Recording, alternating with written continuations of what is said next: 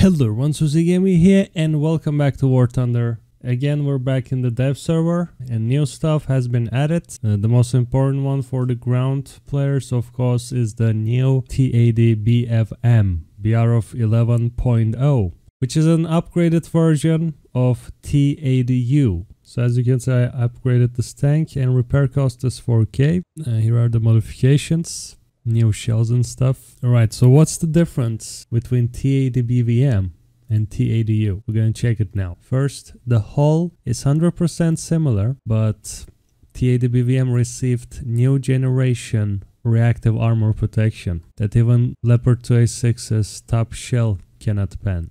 Uh, right here. Of course, if you hit them once, they will be destroyed. On the next shot, uh, everyone can pen you. So let's fire from Leopard 2A6's top shell. 500 meters distance.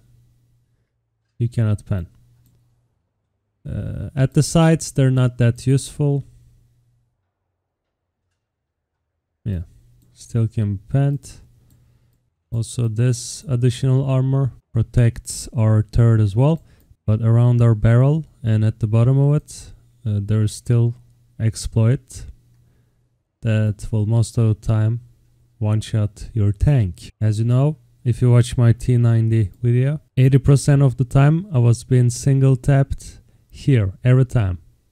No matter what's the distance, uh, even Waffentrager can pen here and one shot your tank. However, there is another update about mobility of this tank. Our barrel lift speed increased 10 times uh, compared to the previous T80U. And also our turret rotation speed increased 2 times as well.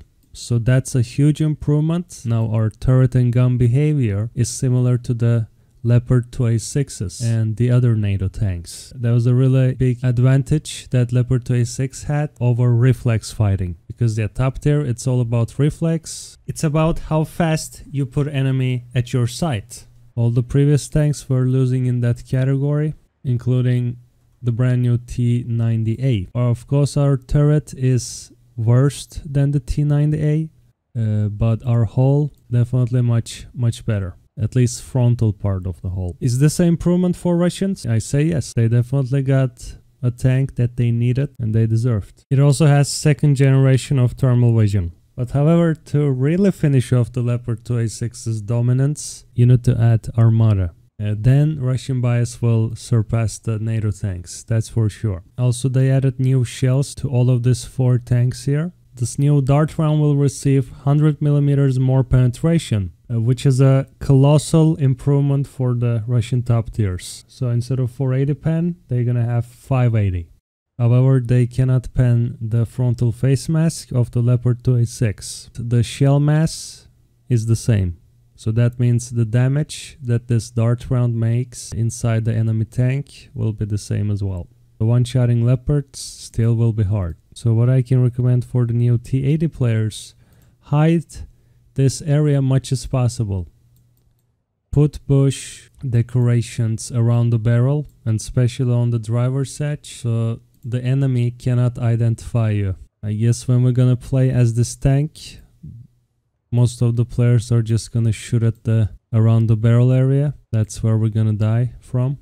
Now if you're owner of big bush pack, I think you're gonna be able to hide your tank's identity much more successfully. So yeah, other NATO tanks will have a hard time identifying your tank. But yeah, our driver's edge uh, will be still exposed. That's where NATO tanks shoot 70% of the time. Here we go. That's an improvement. Yeah, please don't fire at the gas mask.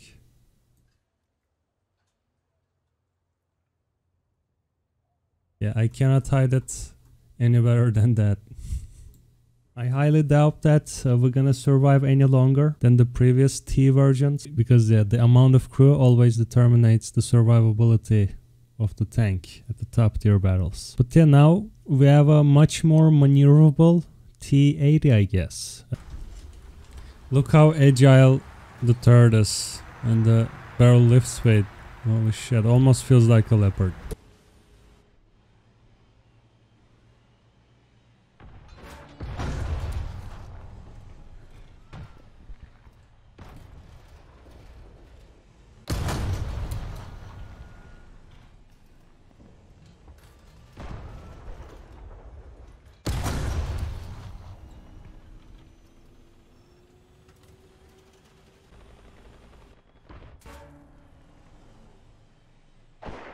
That's a T90.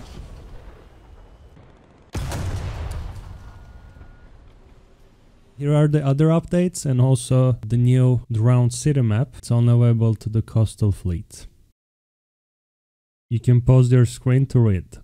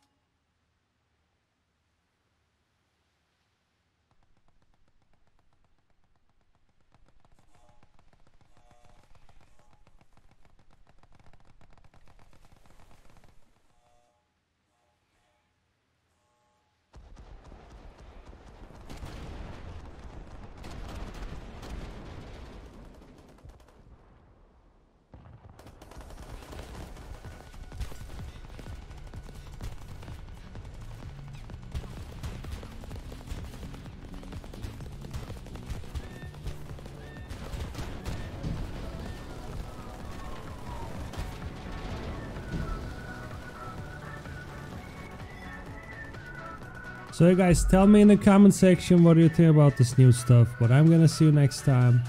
Peace out.